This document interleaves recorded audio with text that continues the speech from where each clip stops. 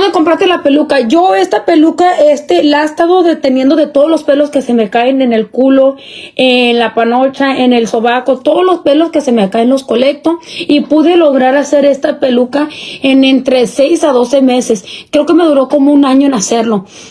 Este fue muy fácil porque yo realmente soy una persona súper peluda. Este, de hecho, me dijeron que si yo quería salir en la película de Jumanji, eh, si quería hacer el chango, porque realmente soy muy peluda. Les dije, no, ahorita no quiero salir en películas, ya salen bastantes. Ah, entonces, mejor lo que hice, aproveché y me hice una peluca con mi propio pelo. Así que como seis meses duró.